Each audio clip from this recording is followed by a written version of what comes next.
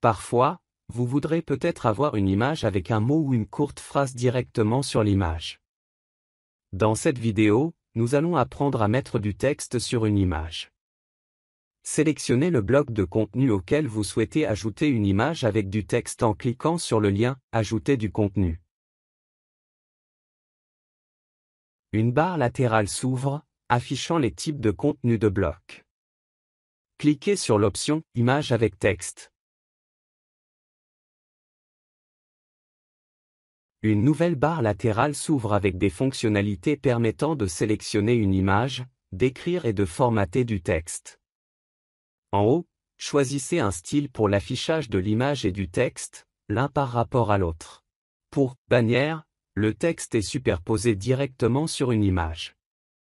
Demi-largeur, l'image et le texte sont affichés côte à côte dans le même bloc de contenu. Le texte ne s'enroule pas. Avec le panneau de texte, le texte est superposé sur une image avec un panneau contrasté.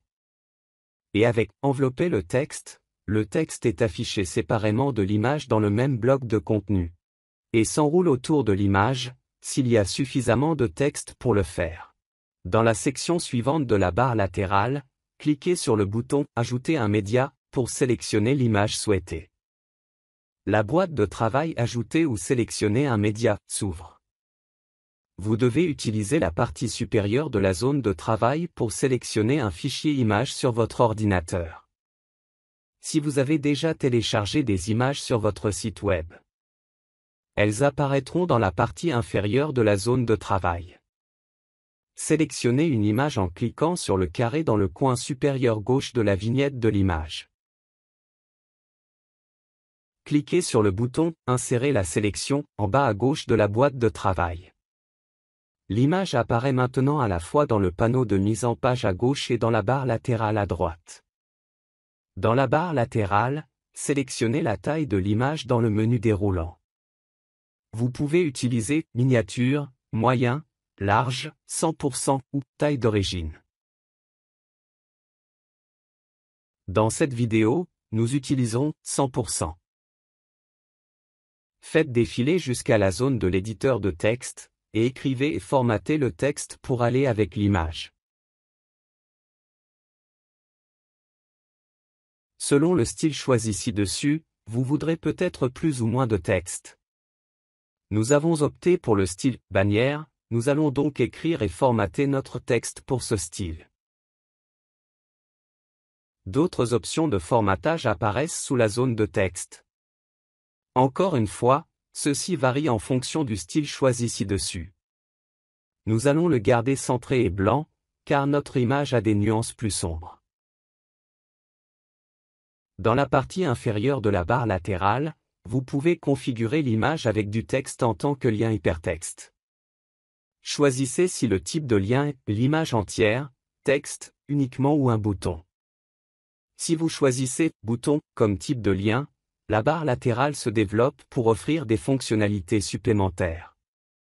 Écrivez le texte qui apparaîtra sur le bouton.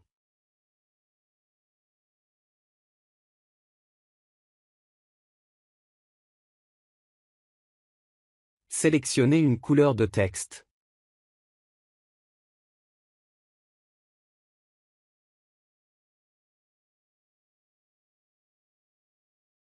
Sélectionnez la couleur d'arrière-plan.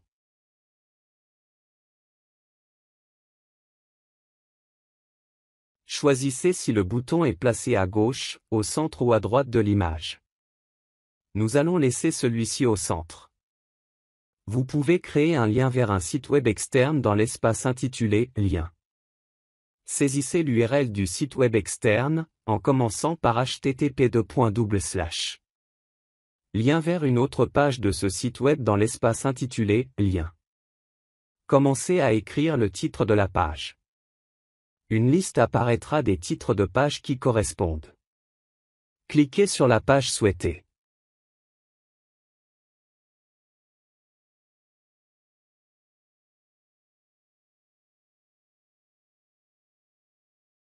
cliquez sur le bouton Enregistrer en bas de la barre latérale. Cliquez sur le bouton Enregistrer sur l'écran de mise en page. Et voilà. C'est ainsi que vous ajoutez une image avec du texte dessus.